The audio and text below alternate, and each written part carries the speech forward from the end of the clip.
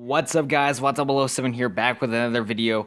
Today we're going to be talking about some leaks of, of some new characters and some new card animations for Yu-Gi-Oh! Duel Links. Now, credit to where credit's due, this guy called VanManX.game and tips and tricks. This guy uh, made the video, and this is the only like video footage I can find right now on YouTube is from this dude. So, link in the description, check him out, go subscribe to him because he makes some better Duel Links content. I just wanted to do like, I guess like a re-upload along with my commentary so I can relay it to the few of the people that have been subscribing to my channel for Yu-Gi-Oh! Duel Links. Anyways, let's show you guys some of the craziness. I'm going to turn down the volume though.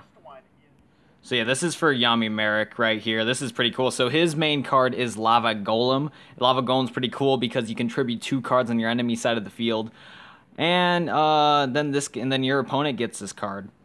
So it's pretty interesting. But look at that, and look at that another freaking suggested thing. I'm sorry for the bad freaking video quality because I'm screen capping this, but check the description down below if you want the um, uh, watch the video without any of my commentary and stuff like that. But yeah, this is yeah, this is the only footage I got so far. But yeah, Yami Marik is um in this, which is interesting. So that's gonna be a potential next character. Next up, we have Yami Bakura. He's gonna be in another character, most likely leaked his signature card. I forgot what his signature card is, but you'll see right here. Fiend Farewell. That's his skill. See what happens. Oh boy. We're waiting. Come on, show us the new monster. Cause yeah, cause like basically with on the card, his signature card, you have to uh, banish three fiend types or three dark types, I think, and then you can summon him. There we go. Dark Necrofear. There we go. That's that seems like a pretty decent card. And look at this animation; it looks really dope. Really dope.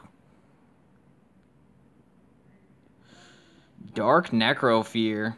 And also next up we have is uh, what's who's next? Next up we have Yami um Yamimoto. No. Yugimoto. Why did I say that? I'm an idiot. Well, yeah, we have Yugimoto.